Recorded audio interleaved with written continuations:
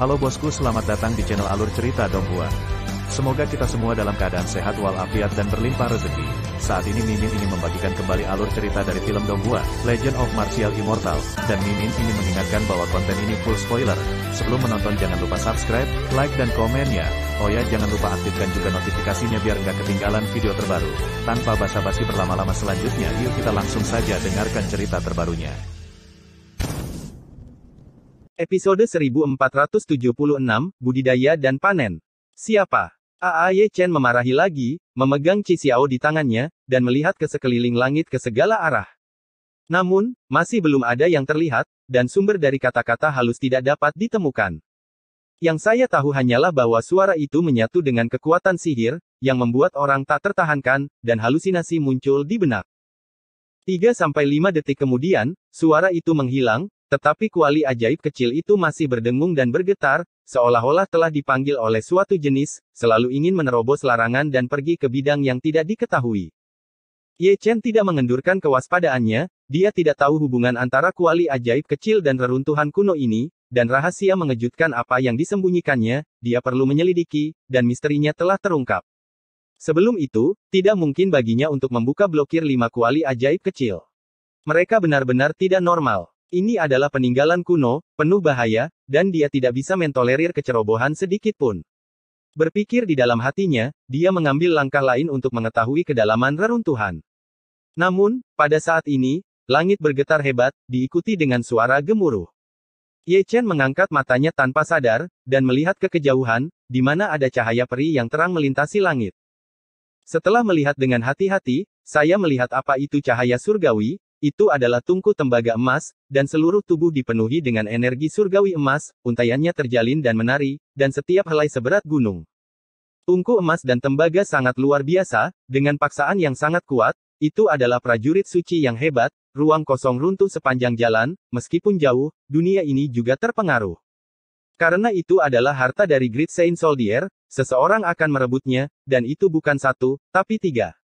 Adapun ketiga orang itu, mereka semua adalah kenalan Ye Chen, meskipun mereka ditutupi jubah hitam, mereka tidak bisa lepas dari mata yang abadi.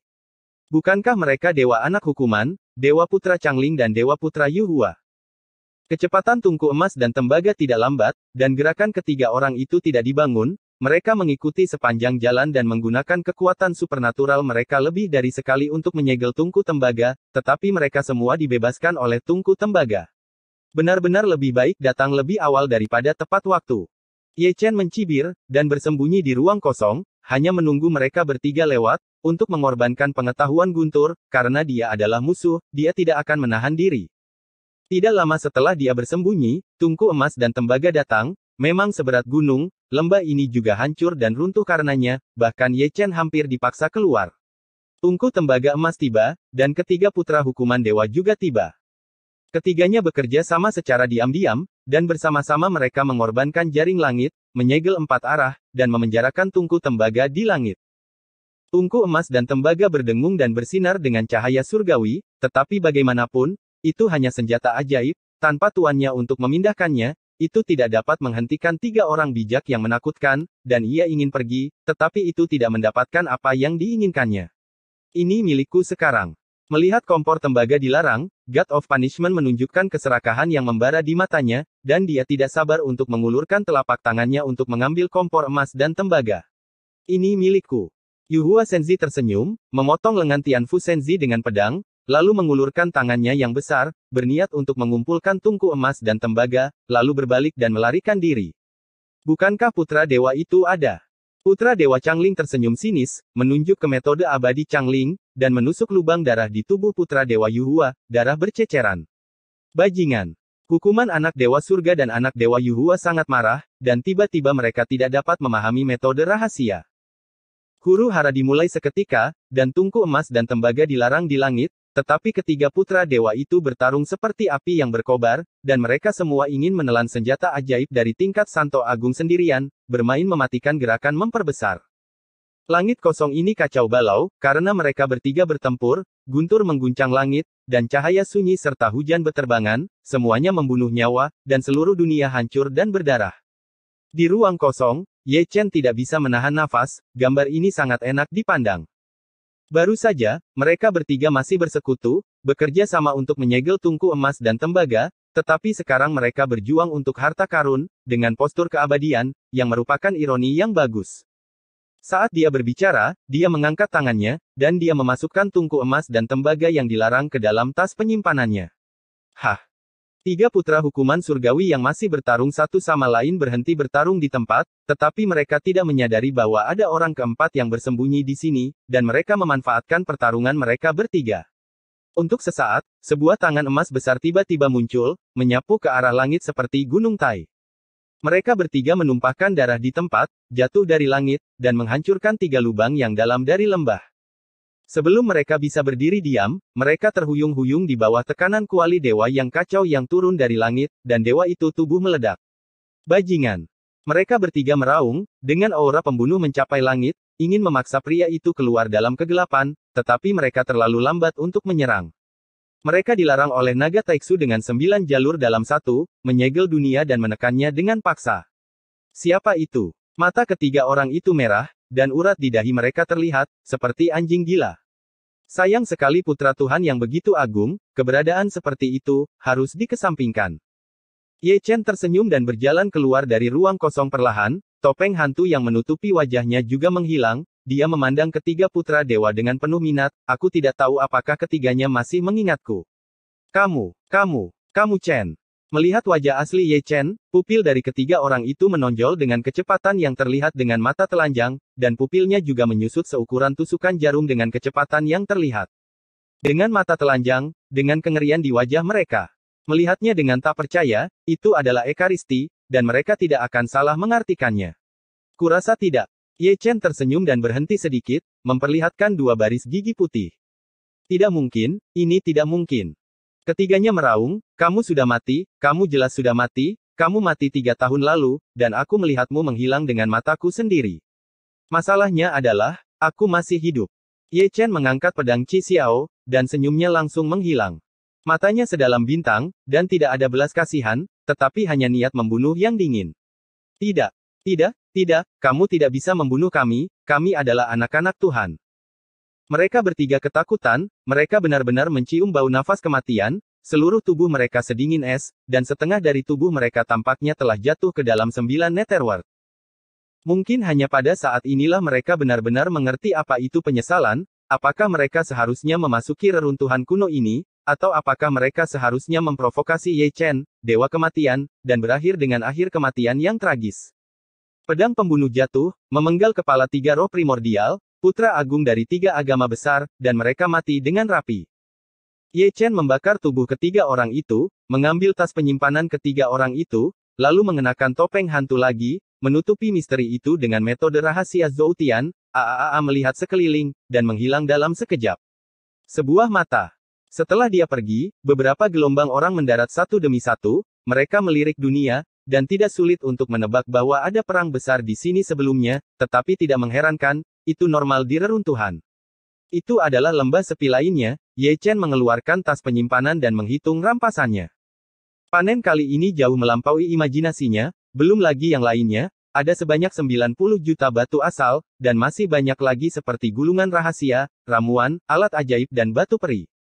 Ini membuat bola mata Ye Chen dan istrinya berguling, penjarahan lebih nyata daripada berburu harta karun, dan harta yang dirampok juga jauh lebih cepat daripada dia menghabiskan uang untuk membeli di warung.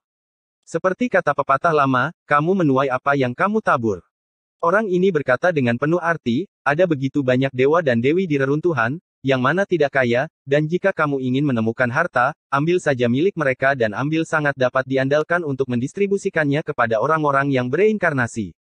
Jadi, dia dengan sadar mengeluarkan batang besi dari tas penyimpanan, dan itu menghilang dalam sekejap mata. Segera, terdengar ledakan, dan sebuah gunung runtuh, disertai dengan jeritan. Ketika para pemburu harta karun pergi untuk menonton, pemandangannya berantakan. Dua orang tersihir memiliki surat besar di tanah, seorang junior, dan seorang raja suci. Hal yang sama adalah harta di tubuh mereka, bahkan ornamen di tubuh mereka. Tubuh, semua dirampok bersih. Ini tentu saja mahakarya Ye Chen, dia masih memiliki etika profesional, Meskipun bayinya dirampok, setidaknya tidak ada nyawa yang terluka. Selanjutnya, karena bajingan tak tahu malu, reruntuhan kuno menjadi sangat hidup. Ada jeritan satu demi satu, dan banyak orang yang datang ke reruntuhan untuk berburu harta karun dirampok olehnya. Mereka tidak tahu apa yang sedang terjadi, dan mereka terpana. Ketika mereka bangun, semua harta mereka hilang. Oh, episode 1477, kamu tidak sederhana. Bajingan. Reruntuhan dimarahi di mana-mana, orang yang dirampok sadar, dan Guntur sangat marah. Tanpa sadar tersingkir, dan dirampok dengan bingung, orang-orang itu tidak mau menderita karena kebodohan, dan mereka semua menemukan batang besi, dan mereka tidak tega berburu harta karun, jadi mereka mulai merampok. Sekarang, reruntuhan yang sudah ramai menjadi lebih panas, dan ada orang di mana-mana dengan batang besi yang memukuli tongkat sap, tidak peduli apakah mereka orang bijak, raja suci atau orang suci yang agung, mereka semua tidak tahu malu. Gelombang operasi ini sangat halus, atmosfer berdarah semakin kental, dan teriakan semakin banyak. Tidak ada rasa sakit, tidak ada keuntungan. Di sisi reruntuhan, Ye Chen bergumam sepanjang jalan, seolah-olah dia telah mengambil dua kalimat ini sebagai perkataan bijak, dan merampok di mana-mana dengan tongkat besi. Di depannya, dia melihat tiga atau lima sosok, dia melarikan diri ke ruang kosong dan mendekat dengan diam-diam. Itu juga putra dari sekte besar. Dia telah bertemu dengannya di perjamuan Kunlun, dan darahnya tidak lemah. Dia hampir tidak bisa menduduki peringkat di benua Suan Huang, dan dia setara dengan tiga dewa hukuman surga. Jangan khawatir, aku hanya menginginkan uang, dan aku tidak akan menyakiti hidupmu. Ye Chen mengangkat batang besi. Namun, sebelum dia menghancurkannya, kepala putra dewa itu dipisahkan dari tubuh mereka. Gambar itu sangat berdarah, bahkan roh primordial pun langsung terbunuh, yang lebih aneh lagi adalah tas penyimpanan mereka menghilang di tempat, dan tidak ada yang terlihat terwujud dari awal hingga akhir. Di ruang kosong, batang besi yang diangkat oleh Ye Chen dipasang di udara, Matanya menyipit sebanyak mungkin, dan dia menatap ke satu sisi, seolah-olah dia bisa melihat sosok hantu menembus kabut. Itu adalah tubuh ilahi Nirvana. Dia telah menyaksikan tubuh ilahi Nirvana membunuh putra dewa itu dengan matanya sendiri sebelumnya. Berkat persembunyiannya di ruang hampa, dia lolos dari deteksi tubuh ilahi Nirvana. Sungguh dewa guntur terbang yang mendominasi. Ye Chen tampak serius.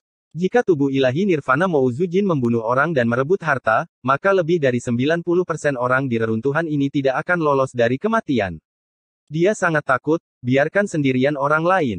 Berpikir di dalam hatinya, dia menuju ke sisi lain, mencoba menjauh dari tubuh ilahi Nirvana. Meskipun dia tahu bahwa dia akan berperang dengan tubuh ilahi Nirvana cepat atau lambat, dia tidak ingin menghadapinya terlebih dahulu. Di depan sebuah danau, dia berhenti lagi. Danau itu tenang dan tenang, tetapi ada harta karun di dalamnya, yaitu rumput peri yang sangat indah. Alasan mengapa tidak ada fenomena abnormal adalah karena air danau. Sayang sekali Linglong Xianchao belum dewasa, atau dengan kata lain masih memusatkan esensinya. Dia tidak segera mengambilnya. Memetiknya sebelumnya akan menyebabkan rumput peri layu. Dia harus menunggu waktu terbaik. Angin sepoi-sepoi bertiup lembut, menimbulkan gelombang di permukaan danau, dan seseorang melangkah ke dunia ini lagi. Pria itu ditutupi dengan jubah hitam, dia tidak bisa melihat wajah aslinya, dan auranya gelap, tetapi darahnya sangat kuat sepasang mata dewa terungkap, sumur kuno tidak memiliki gelombang, dalam dan tak terbatas, membuat tidak mungkin untuk melihat akhir. Ye Chen mengerutkan kening, dan dia sudah melihat siapa orang itu, dan dia adalah orang yang sangat sulit, Zong Huang. Dia mengerutkan kening, dan Kaisar juga mengerutkan kening, penglihatannya tidak tahan melihat wajah asli Ye Chen. Ini membuatnya sedikit terkejut, dia adalah kaisar, penglihatannya sangat tinggi, dan dia memiliki mata yang menembus langit, hanya sedikit orang yang bisa menutupi intipnya, yang paling penting adalah dia tidak bisa melihat darah Ye Chen. Mengetahui bahwa kaisar memata-matai dia, Ye Chen pura-pura tidak tahu, dan berdiri diam di depan danau. Dia adalah orang pertama yang menemukan rumput abadi Linglong. Jika kaisar bersikeras untuk mengambilnya, dia tidak keberatan pergi ke perang. Kamu bisa lolos dari intipku, Rekan Tao pasti bukan orang yang tidak dikenal. Ketika Ye Chen memperhatikan, Kaisar berbicara dengan santai, tersenyum sehingga orang bisa mandi di angin musim semi, tanpa sedikit pun aura pembunuh. Junior, kamu tidak sederhana, kata Ye Chen dengan ringan, suaranya sengaja dibuat tua, tujuannya adalah untuk membingungkan pengintipan Kaisar, dia tidak ingin mengekspos dirinya sendiri. Nenek moyang saya ingin memurnikan tungku ramuan, tetapi mereka mendapatkan rumput linglong ini, tetapi saya tidak tahu apakah para tetua dapat meneruskannya kepada generasi yang lebih muda. Kaisar tertawa, kebaikan ini akan selalu ada di hati saya. Berikan padamu. Ye Chen tersenyum, karena kamu bisa melihat bahwa itu adalah rumput linglong, kamu tahu nilainya. Setelah akhirnya menemukan harta karun, biarkan saja seperti yang kamu katakan, itu melanggar aturan. Aku tidak akan membiarkan senior menderita. Kaisar tersenyum santai, dan mengeluarkan pedang peri emas dengan jentikan tangannya, ditempa dari besi hitam dari luar wilayah, jika senior mau menyerah, pedang peri ini akan menjadi milik senior. Pedangnya cukup bagus. Ye Chen meliriknya, tapi itu bukan tandingan rumput abadi Linglong. Lansia mungkin ingin berbicara langsung, dan junior mencoba yang terbaik untuk setuju. Kaisar tersenyum dengan tenang dan tenang. Tiga prajurit Raja Suci, sembilan prajurit Raja Semu. Ye Chen menawarkan harga tanpa kepura-puraan. Harganya adil dan kesepakatan selesai. Yang mengejutkan, Kaisar Tiongkok setuju tanpa ragu, dan sebelum dia bisa mengatakan apa-apa, dia melihat dia mengeluarkan tas Kun, yang berisi banyak alat ajaib. Apakah orang ini sangat kaya? Ye Chen mendecakkan lidahnya secara diam-diam. Dia pikir dia cukup menginginkannya, tetapi dia tidak berharap Kaisar begitu berani, dan dia mengejutkannya.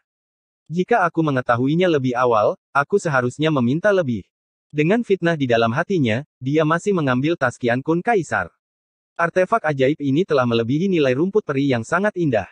Kamu tidak bisa kembali lagi katamu jika kamu melakukan ini, itu pasti pertempuran yang sulit. Kaisar tidak dapat diduga, dan jelas bukan langkah bijak untuk menghadapinya dalam relik berbahaya ini. Jika dia tidak menjaganya, dia akan dimanfaatkan oleh orang lain, yang bukan keinginannya. Kaisar juga memiliki pemikiran yang sama. Dia tidak bisa melihat melalui Ye Chen. Dia punya alasan untuk percaya bahwa Ye Chen sangat kuat. Dia juga takut. Dia tidak akan dengan mudah melakukan apa pun yang bisa diselesaikan dengan uang. Rumput abadi Linglong, ini milikmu. Ye Chen segera mundur setelah mengambil tas Zhong Huang Qiankun. Terima kasih, senior. Kaisar tersenyum ringan, dan mengabdikan dirinya untuk menjaga rumput abadi Linglong. Selama periode ini, dia juga membuat banyak batasan rahasia, dan hanya menunggu rumput abadi Linglong menjadi dewasa, dan membawanya ke Saku. Di sisi lain, Ye Chen memulai karir perampokannya yang hebat lagi, tetapi ada teriakan ke mana pun dia pergi. Setelah kerja keras selama beberapa dekade, dia membawanya kembali ke sebelum pembebasan. Ada kebangkitan pelecehan, dan orang-orang yang dirampok olehnya semua menjadi gila, dan mereka semua melakukan perampokan, dan mereka tidak bertindak sendiri, mereka berkelompok di mana-mana. Itu kejahatan lain. Ye Chen terbatuk, tetapi tidak berhenti, membawa tongkat besi untuk membuat masalah di mana-mana, mencoba menyelesaikan masalah lama dengan putra dewa para dewa, tetapi dia tidak dapat menemukan mereka. Pada saat ini, dia telah melangkah ke kedalaman yang cukup, dan kabut darah terisi, karena ada banyak formasi kuno di kedalaman reruntuhan. Formasi itu sudah tua, meskipun bobrok, tetapi kekuatannya tirani, dan banyak lagi orang kehilangan nyawa karena itu. Menjadi jiwa orang mati di bawah banyak susunan pembunuhan. Reruntuhan kuno membentuk dunia besar dengan sendirinya, dan ada juga siang dan malam, dan malam menyelimuti seluruh reruntuhan. Saat hari semakin larut, dia berjalan melewati hutan belantara, dan di kedalaman yang tersembunyi oleh banyak pohon tua yang menjulang tinggi, dia melihat sebuah dinding batu, di depan dinding batu, sesosok berdiri seperti patung. Bei Sheng, gumam Ye Chen pelan, dan dengan sadar mengambil kembali tas penyimpanan dengan batang besi yang dia keluarkan. Tidak apa-apa untuk menjatuhkan getah orang lain, tetapi Bei Sheng ada, dan satu tongkat tidak bisa dibodohi. Menyingkirkan batang besi, dia berjalan perlahan, bukan untuk merampok, tetapi untuk melihat apa yang dilakukan Bei Sheng Chu di depan tembok batu, dia begitu terpesona olehnya, terlihat jelas ada misteri di dinding batu itu. Yang mengejutkan, Bei Seng sepertinya tidak tahu bahwa ada seseorang yang datang di belakangnya, sampai Ye Chen ada di sampingnya, dan dia tidak melihatnya melihat ke samping, dan berdiri di sana dari awal sampai akhir, tidak bergerak. Ye Chen mengangkat alisnya, melirik Bei Sheng dari atas ke bawah, dan melihat bahwa matanya tumpul, dan langsung melihat petunjuknya, dia bisa melihat bahwa pikiran Bei Sheng telah keluar ke dalam konsepsi artistik, dan dia sama sekali tidak mengetahui dunia luar. Kamu benar-benar tertarik. Jika kamu memahami konsepsi artistik di reruntuhan, kamu tidak akan takut orang yang lewat akan musnah olehmu. Ye Chen hanya bisa menghela nafas, jika Tang Tang Bei Sheng mati seperti ini, itu akan menjadi omong kosong. Semuanya ada di sini, aku akan menyimpan hartamu untukmu. Ye Chen mengulurkan tangannya dengan sadar, mengambil tas penyimpanan Bei Sheng, dan terus mengobrak-abrik Bei Sheng setelah menyelesaikan pekerjaannya. Liontin batu giok ini juga bagus. Pria ini sangat tidak bermoral, dan menarik sebuah liontin batu giok yang tergantung di pinggang Bei Seng, lalu meletakkan tangannya ke dalam pelukan Bei Seng, dan mengambil manik dewa dari dalam. Ini belum berakhir, cincin giok di jari Bei Sheng dan kristal roh yang bertatahkan di sabuk giok juga diambil olehnya, yang lebih memalukan adalah dia juga melepas sepatu orang, tetapi dia adalah barang berharga. Anak tidak ditarik ke bawah, dan setelah penyisiran selesai, hanya tersisa satu helai pakaian di tubuh Bei Sheng. Sejujurnya, pakaian perimu tidak buruk. Ye Chen menggosok dagunya, dan terus mengitari Bei Sheng, melihatnya dengan mata cerah, sangat ingin ditelanjangi. Tak perlu dikatakan, barang ini benar-benar melonjak, dan itu dilucuti satu per satu. Pakaian peri Beisheng bernilai banyak uang. Jika dijual, bisa ditukar dengan banyak batu asal. Namun, ketika pakaian peri terakhir di tubuh Beisheng dilepas, tubuhnya sedikit bergetar, dengan cahaya peri yang meluap, tubuhnya yang tinggi dan lurus menjadi mempesona dan indah, kulit perunggu memudar, dan menjadi putih dan lembut, dan dadanya yang rata menjadi juga cantik ada sepasang puncak batu giok yang tinggi dan lurus. Mata Ye Chen menatap lurus, dan dia membuka mulutnya dengan ekspresi yang indah, dia. Cewek, cewek, oh. Episode 1478, bab 1478. Ye Chen kacau, meskipun dia bijak, dia juga terpana di tempat, di depannya ada bangkai putih bersih dan tanpa cacat, setiap inci kulit bersinar dengan kilau, memancarkan aroma feminin. Melihatnya, dia tiba-tiba merasa panas di lubang hidungnya, dan dua aliran kehangatan mengalir keluar. Itu adalah wajah yang tiada taranya, tidak lebih lemah dari Dewi Yaochi, sempurna tanpa cacat di bawah sinar bulan. Bei Sheng yang bermartabat adalah seorang wanita yang telah merusak garis dasar dari keparatnya jauh. Dia memiliki mata peri. Dia tidak menyadarinya sebelumnya. Jika bukan karena menelanjangi orang, siapa yang akan tahu rahasia ini? Mungkinkah karena pakaian peri? Dia tanpa sadar melihat pakaian yang baru saja dia lepas dari Bei Sheng. Ada batasan kuno pada mereka, yang bisa menyembunyikan misteri, dan bahkan mata abadi dari enam jalan tidak bisa menerobos mereka tubuh seorang anak perempuan akan muncul, dan inilah titik masalahnya. Kecelakaan, ini kecelakaan. Setelah menemukan alasannya, Ye Chen terbatuk dan tersenyum. Dia hanya memberi seseorang sepotong pakaian yang dilucuti, dan kemudian memberi seseorang pakaian lain, jadi dia tidak bisa terlalu penipu. Namun, tubuh halus Bei Seng bergetar lagi ketika dia berpakaian, dan matanya yang indah kusam langsung mendapatkan kembali cahayanya, atau dengan kata lain, pikirannya lepas dari konsepsi artistik dan terbangun. Melihat ini, Ye Chen, yang akan terus mendandani Bei Sheng, tidak bisa menahan diri untuk tidak membeku di tempat. Bei Sheng juga tercengang, karena pikirannya, dia tidak tahu plot seperti apa ini untuk sementara waktu. Salah. Kesalahpahaman, ini. Ini semua salah paham. Ye Chen tersenyum datar, sambil memegang pakaian peri, dia terus mundur, mundur, lalu berbalik dan lari, menunjukkan postur yang mendominasi. Sialan kau! Suara wanita yang menusuk telinga bergema di hutan segera, dan Bei Seng mengejarnya dengan pipi memerah, seolah-olah dia sudah menebak apa yang terjadi selama dia memahami konsepsi artistik. Pemulihannya sebagai seorang putri adalah bukti terbaik seseorang melepas pakaiannya. Terdengar suara gemuruh, tapi melihat kerikil beterbangan, Ye Chen berlari berebut dan berebut. Di belakangnya, Bei Seng seperti seberkas cahaya peri, kecepatannya sangat cepat, pakaiannya berantakan, dan dia tidak memiliki mantel, karena mantel pakaian peri masih ada di tangan Ye Chen, dan dia tidak memilikinya. Belum sempat memakainya. Dia ingin mengeluarkan mantel dari tas penyimpanan dan memakainya, tetapi secara ajaib menemukan bahwa tas penyimpanannya hilang, tidak hanya tas penyimpanannya yang hilang, tetapi pakaian peri dan sepatunya yang tidak lengkap ada di sekujur tubuhnya. Tidak ada yang lain. Tersisa, semua dimusnahkan oleh Ye Chen. Kamu bajingan, kamu bajingan. Bei Sheng yang bermartabat, dengan kecantikan tiada taraf, menjadi gila karena amarah, Susi terlalu malu dan marah, dia berbicara dengan tidak jelas, dan beberapa dari mereka hanya mengutuk dan niat membunuh. Dia tidak pernah begitu malu, dan dia tidak pernah menderita kerugian sebesar ini, hartanya dirampok dan tubuhnya benar-benar dilihat, dia suci dan tanpa cacat, dan bahkan memiliki keinginan untuk mati. Kesalahpahaman, ini adalah kesalahpahaman. Ye Chen bahkan tidak menoleh ke belakang, dia hanya melarikan diri dengan nyawanya. Wanita gila adalah yang paling menakutkan. Jika dia menyusulmu, tidak heran dia tidak berkelahi kamu keras. Yang paling penting adalah dia bersalah atas masalah ini. Dia merampas harta orang dan bahkan mengambil pakaian orang, tetapi dia tidak dapat disalahkan untuk ini. Siapa yang tahu bahwa Bei Sheng sebenarnya adalah seorang wanita, dan tidak ada yang memberitahunya tentang dia. Pada saat ini, dia sedikit menyesalinya, dia seharusnya pergi di tempat jika dia mengambil harta itu, tetapi dia ingin mengambil pakaian orang dengan tangan yang murah, dan dia melakukannya, dan dia melirik lagi ke yang murah. Yang orang-orang memakainya, memakainya dan memakainya. Tangan dan kakimu lebih gesit. Dalam kepanikan, Bei Seng menyusulnya, dan dengan tangan batu geokristal terentang di langit, dia mengayunkannya dengan telapak tangannya, dan terbang ribuan kaki jauhnya, bertabrakan dengan lebih dari selusin gunung sebelum jatuh. Telapak tangan Bei Sheng bukan hanya untuk bersenang-senang, itu sekuat tubuh suci, dan juga hancur berkeping-keping di tempat. Ye Chen sedang tidak mood untuk berkelahi, dia bangkit dan berlari, tanpa berpikir untuk mengembalikan mantelnya kepada orang lain. Tetap di sini. Bei Sheng mengangkangi langit, jari-jarinya yang ramping melebur menjadi hukum abadi, satu jari cantik, tetapi sangat kuat, menembus ketiadaan, mengunci Ye Chen, dan satu jari menghancurkan orang mati. Ye Chen dipukul, dan lubang berdarah keluar dari tubuh sucinya, dan jari Bei Sheng, menyatu dengan Taoismenya dan banyak kekuatan magis dan rahasia, hampir melarang jiwanya, dan juga terluka oleh kekuatan tempurnya.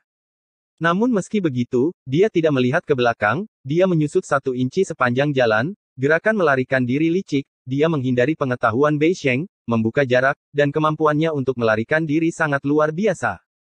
Bei Sheng menjadi gila dan mengejarnya dari dekat, percikan mekar dari matanya yang indah seperti air, dan rona merah menyebar dari pipinya ke lehernya, dengan aura pembunuh yang mengerikan, dan ke mana pun dia lewat, langit dan bumi berubah menjadi es. Keruntuhan kuno menjadi semarak di malam hari, dan suara gemuruh mengguncang langit dan bumi.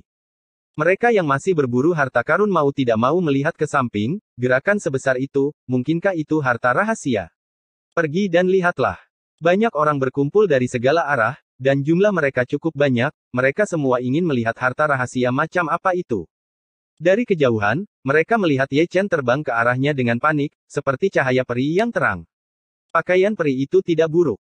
Banyak orang melihat pakaian peri yang dipegang oleh Ye Chen, dan mereka yang memiliki mata tajam dapat melihat bahwa pakaian peri itu luar biasa, dan batasannya sangat kuno. Minggir. Ye Chen tiba dalam sekejap, dan orang-orang itu dilarikan berkeping-keping di tempat. Bei Sheng tiba kemudian, dan orang-orang itu terlempar ke langit olehnya sebelum mereka bisa berdiri diam. Biarawan semi suci biasa jatuh ke langit di tempat, dan tubuh mereka hampir meledak di tempat. Siapa wanita itu? Seseorang berkata dengan heran. Melihat pakaian Bei Sheng berantakan dan dia tidak memakai mantel, banyak orang terlihat aneh, kekuatan tempurnya kuat, darahnya kuat, dan dia cantik. Apa asal-usul wanita itu, dan bagaimana dia bisa memiliki garis keturunan yang sama dengan Bei Sheng? Di sudut kerumunan, Nandi berjubah hitam berseru kaget, sebenarnya ada dua tubuh peri di era ini. Wanita itu mungkin Bei Sheng. Kata-kata Yuyu terdengar, dengan banyak arti yang tidak bisa dijelaskan, dan orang lain yang mengenakan jubah hitam muncul di samping Nandi, itu adalah Sizun itu. Jangan membuat masalah, Bei Sheng adalah laki-laki, tidak diragukan lagi. Nandi melirik Sizun. Sulit dikatakan. Sizun tersenyum ringan, mata sang Buddha berkedip, seolah-olah dia telah melihat melalui sesuatu. Wanita itu sangat kuat. Di sudut lain, Xiao Jiuxian, yang berjubah hitam, menggaruk kepala kecilnya, Aku tidak ingat orang seperti itu, dan dia juga bertubuh peri, dengan darah yang sama dengan Bei Sheng. Surga dan segudang domain sangat besar, penuh keajaiban. Suara lembut terdengar, dan seseorang muncul di samping Xiao Jiuxian, seperti dia, juga ditutupi jubah hitam, menutupi kesempatan dan tidak melihat wajah aslinya. Yao Qi. Xiao Jiuxian terkejut, sedikit terkejut, kamu juga di sini, kapan kamu datang?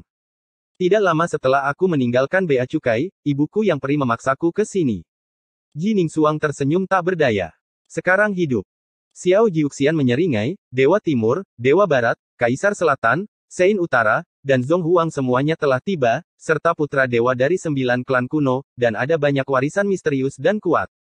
Berbicara tentang ini, Xiao Jiuxian menundukkan kepalanya, sayangnya, tidak ada tubuh suci kuno.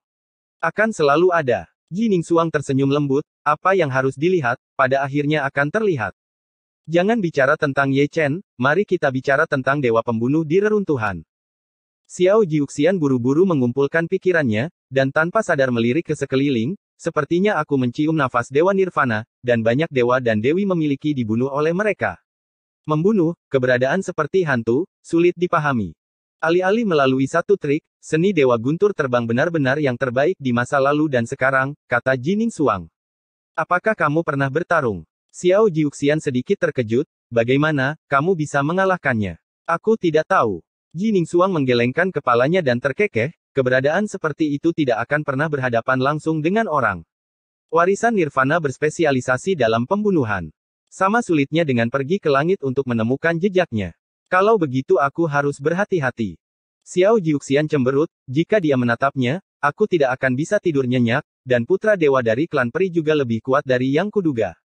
Ada orang di luar manusia, dan ada langit di luar langit, kata Jining Suang, berbalik dan menghilang ke dalam malam yang gelap, masih memegang buku tanpa kata di tangannya, yang terkadang dia ambil dan balikkan. Oh, episode 1479, Jiuli.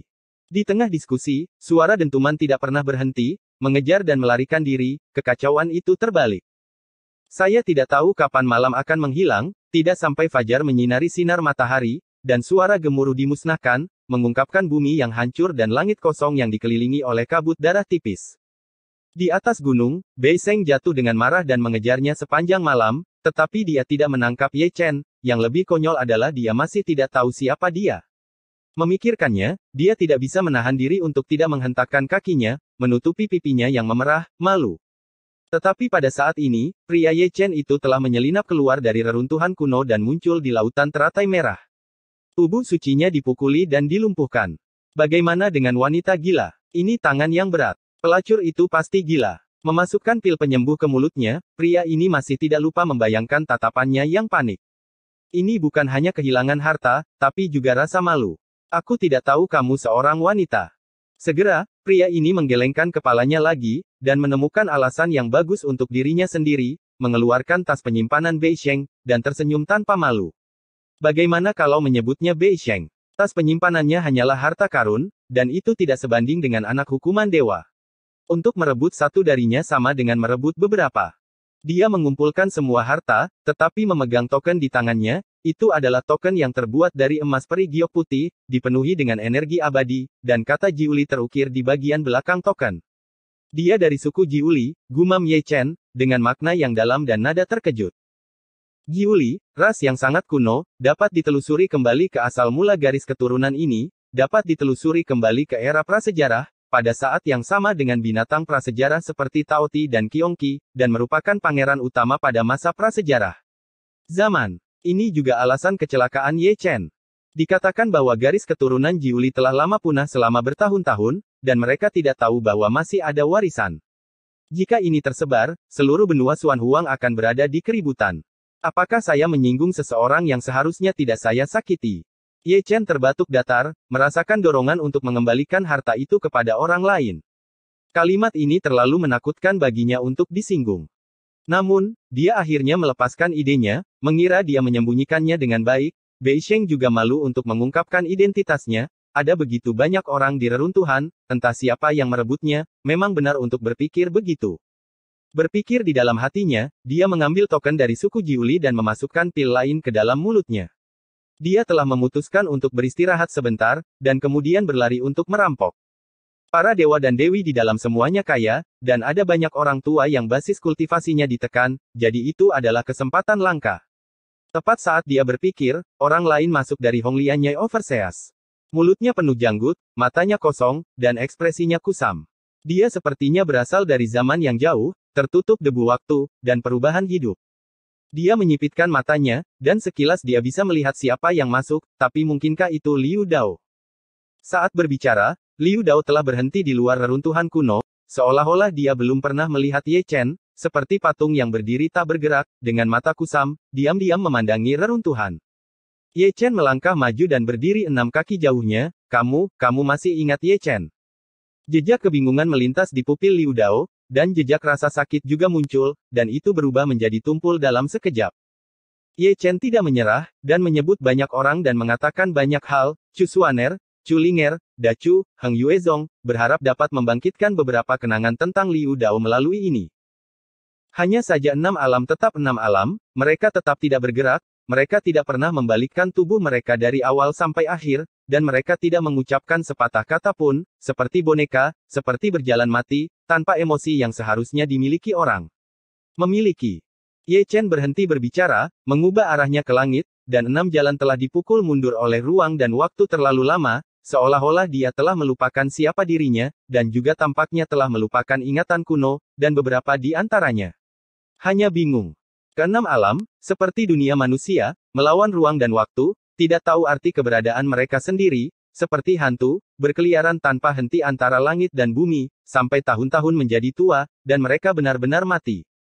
Ye Chen akhirnya berjalan di depan Liu Dao. Perubahan Liu Dao membuatnya merasa tertekan bahkan melihatnya. Dia menyerahkan sebuah gulungan rahasia, ini diberikan kepadamu oleh para senior di kota kuno Dong Huang. Liu Dao bisu, tetapi masih mengangkat telapak tangannya dengan kaku, dan mengambil gulungan rahasia itu, tetapi gulungan rahasia itu langsung berubah menjadi gumpalan abu terbang, dan informasi kuno yang disegel dalam gulungan rahasia itu bergabung ke dalam lautan ilahinya. Pada titik ini, tubuh Liu Dao bergetar, dan matanya yang kosong memancarkan kebingungan. Dia berbalik diam-diam, berjalan selangkah demi selangkah, punggungnya suram dan kesepian, dia telah mengembara di dunia ini selama bertahun-tahun, dia adalah orang yang benar-benar lewat di dunia manusia. Ye Chen mengangkat kakinya dan mengikutinya, tetapi dia tidak bisa mengikuti jejak Liu Dao, gerakannya terlalu aneh, dan dia berubah menjadi ketiadaan saat dia berjalan, hanya menyisakan punggung Dao Dao. Dia tinggal di sana untuk waktu yang lama, dengan suasana hati yang sedih mungkin bertahun-tahun kemudian, seperti enam jalan dan dunia manusia, dia akan mengubah arahnya melawan langit untuk keyakinan tertentu dan menjadi orang mati berjalan. Hei, sambil menghela nafas, dia juga berbalik, menginjak laut, dan memasuki reruntuhan untuk kedua kalinya. Lalu masuk ke reruntuhan, kenali jalannya, langsung ke kedalaman, banyak orang berjalan berkelompok, mengutuk, kebanyakan dari mereka adalah orang yang telah dirampok, hanya ingin meninggalkan tempat hantu ini.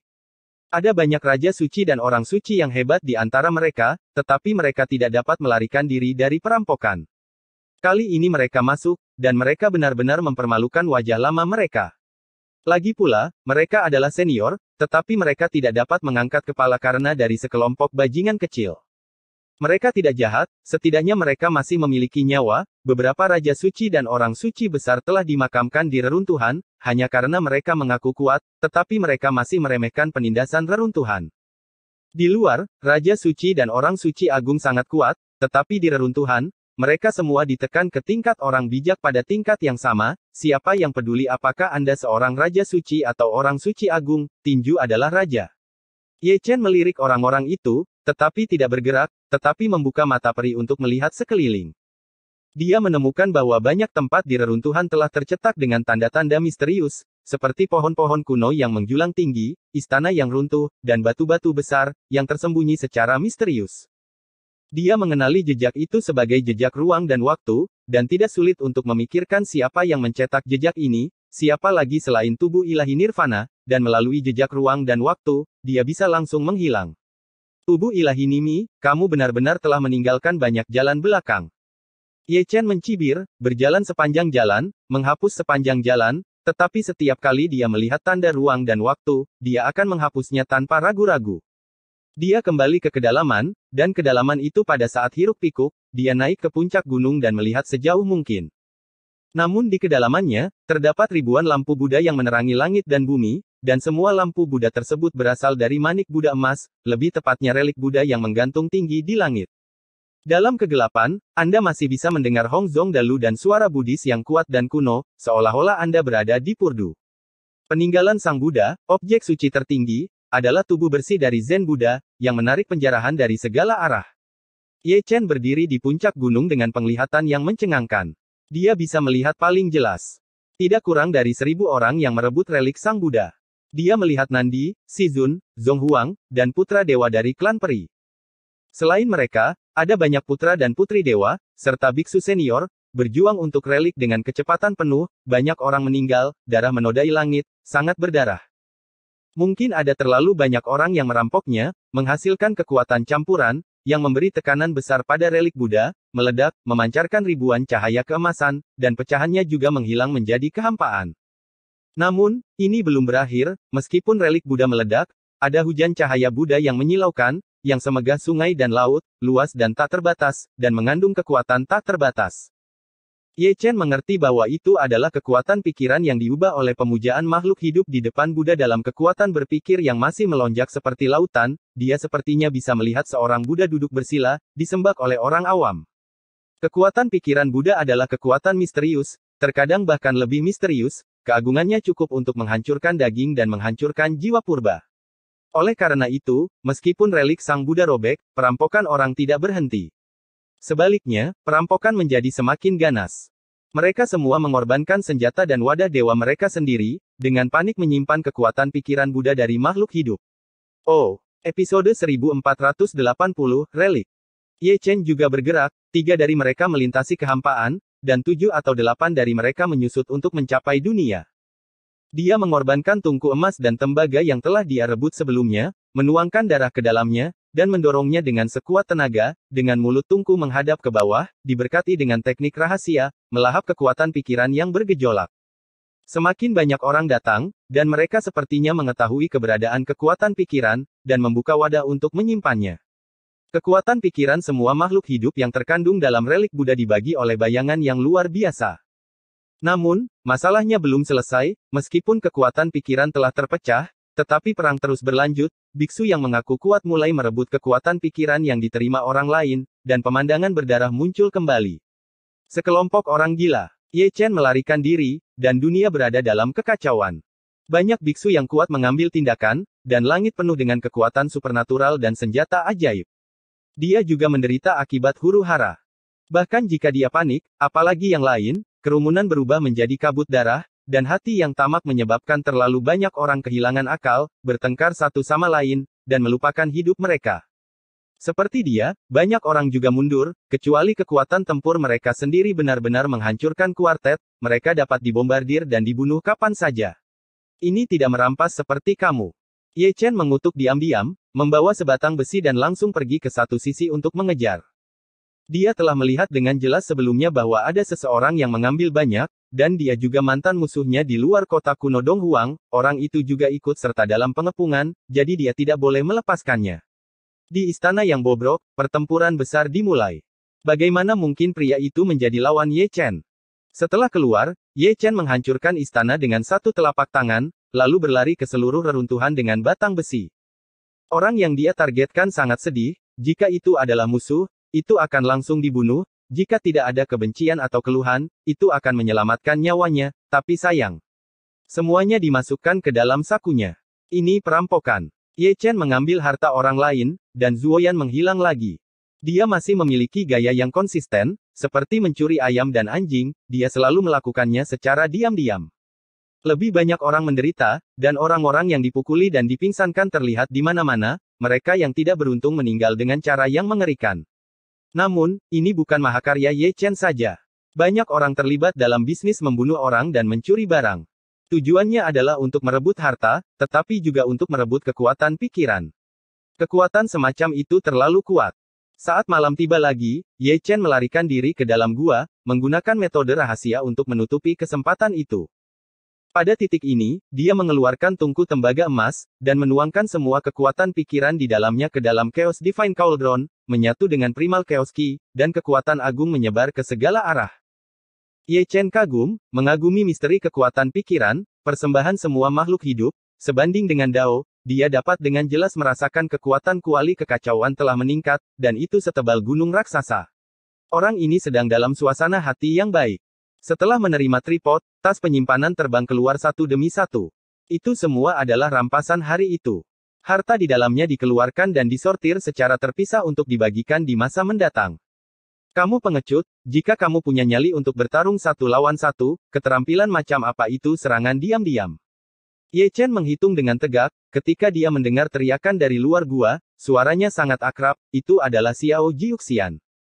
Ye Chen buru-buru mengumpulkan harta, bersembunyi di tepi gua dan melihat keluar, itu benar-benar kaisar sembilan dewa. Gadis kecil itu memegang pedang peri di tangannya, terbungkus Taoisme, dan banyak penglihatan terjalin, menguraikan dunia misterius, tetapi dia sedikit malu, dengan tiga tanda pedang di tubuhnya, dan cahaya dingin.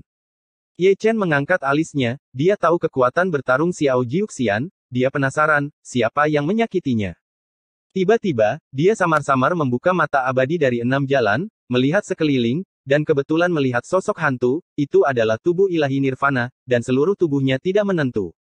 Tidak heran. Gumam Ye Chen pelan, tubuh ilahi nirvana memiliki kekuatan seperti itu, dan pada saat yang sama dia juga kagum pada Jiuxian kecil, yang mampu bertahan di bawah seni Dewa Guntur Terbang, Santo termuda, bukan karena dia. Keluar, jangan paksa aku untuk marah. Di luar gua, Xiao Jiuxian masih berteriak, menginjak lautan makhluk surgawi yang indah, menyebar ke segala arah. Dia cukup pintar untuk menghapus jejak waktu dan ruang tubuh Dewa Nirwana, yang tampaknya mengetahui kekurangan Fei Lei Senjue, mereka membersihkan lapangan sebelumnya. Sembilan dewa keluarga kaisar memang pantas mendapatkannya. Dalam tawa yang berkabut dan suram terdengar, dan sumbernya tidak dapat ditemukan, atau tubuh ilahi nirvana terus-menerus bola-balik melalui jejak ruang dan waktu, tanpa aturan atau aturan apa pun Chen, juga sulit untuk menangkap sosoknya sepenuhnya. Kemampuanmu yang tak tahu malu tidak ditutupi.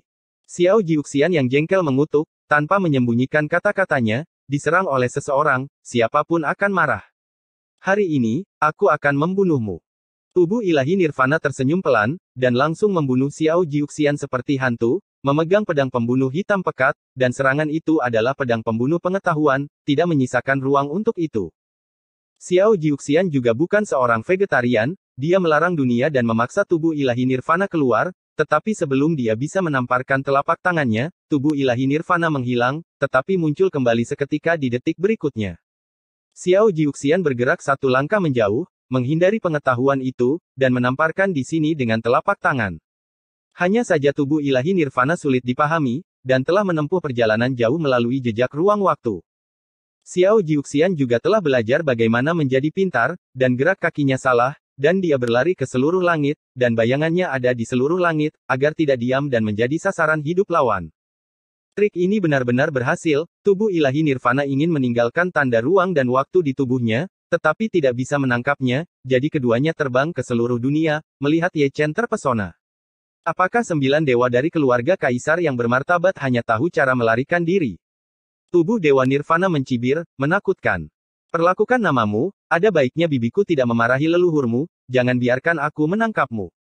Xiao Jiuxian mengutuk, mengambil satu langkah lagi, dan melarikan diri dari Baizang dalam sekejap. Begitu dia pergi, tempat dia berdiri dihancurkan oleh pedang tubuh ilahi Nirvana. Pada saat yang sama, dia tiba-tiba berbalik dan menamparnya, tetapi sebelum dia bisa memukulnya, tubuh ilahi Nirvana menghilang. Begitulah cara keduanya bertarung. Seni Dewa Guntur terbang dari Dewa Nirvana adalah yang terbaik di masa lalu dan sekarang, tetapi reaksi Xiao Jiuxian tidak lambat, dan dia menghindari pengetahuan itu satu demi satu. Jika kamu terus bertarung seperti ini, kamu tidak akan bisa menyelesaikan pertarungan saat fajar. Ye Chen hanya berjongkok di sana, matanya membelalak, berputar ketika mereka berdua berlari bola balik, tidak berpikir untuk naik untuk membantu, dengan kekuatan Kaisar Sembilan Dewa, meskipun sulit untuk membunuh tubuh Jimmy, tetapi tidak apa-apa untuk menyelamatkan hidupnya. Faktanya seperti yang dia duga, tubuh Nirvana seperti hantu, tapi dia tidak membunuh sembilan makhluk abadi. Dan hal yang sama berlaku untuk Xiao Jiuxian, yang memiliki sihir rahasia dan kekuatan supernatural yang terus-menerus, dan juga tidak dapat mengenai tubuh Nirvana. Namun, keseimbangan ini rusak dengan kedatangan orang ketiga, yang juga ditutupi jubah hitam, dengan nafas dingin dan sosok aneh, memegang rantai besi yang ditutupi dengan pola ilahi di tangannya. Begitu dia bergabung, dia mengorbankan rantai besi, mengunci Xiao Jiuxian, dan melahap jiwanya. Ini dia orang tak tahu malu lainnya. Teriak Xiao Jiuxian, mengibaskan rantai besi, menyapu tangan kecilnya, dan memukul pria berbaju hitam dengan telapak tangan, mengerang dan memuntahkan darah, dan kemudian menggunakan metode rahasia untuk menerbangkan ratusan kaki, karena ada satu lagi di tubuh Dewa Nirvana yang gelap, jika Anda berhenti lebih lama, itu mungkin hancur. Aku telah meremehkanmu. Pria berbaju hitam itu menjilat kepalanya yang merah, dan rantai besi di tangannya keluar, seperti ular hitam, terjalin dengan guntur dan kilat yang sedingin es, dan terjalin ke arah sembilan makhluk abadi kecil. Orang-orang dari klan jiwa, bibiku telah menuliskannya. Xiao Jiuxian mengayunkan pedangnya dan memotong rantai besi, dan dalam waktu singkat, pengetahuan Fei Lei Shen juga tiba, dan pedang itu terbunuh. Xiao Jiuxian terluka, dan selokan darah dipotong dari Yu Jian. Dia bertarung sendirian, dan dia tidak takut pada rekan-rekannya, tetapi masalahnya adalah sepasang dua, dan ada tubuh Dewa Nirvana yang menakutkan di antara mereka. Melihat cedera Xiao Jiuxian, klan jiwa berjubah hitam menunjukkan cahaya yang bersinar, dan sembilan rantai dewa pengunci jiwa dikorbankan bersama, menyegel ruang kosong dunia ini dan membuat Xiao Jiuxian mandek. Hanya dalam waktu singkat, tubuh Dewa Nirvana diberi kesempatan untuk membunuh Xiao Jiuxian dalam sekejap. Namun, sebelum dia menebas pedang ini, dia melihat cahaya keemasan dengan kekuatan menusuk, dan itu mengunci roh primordialnya. Ini adalah pukulan mematikan.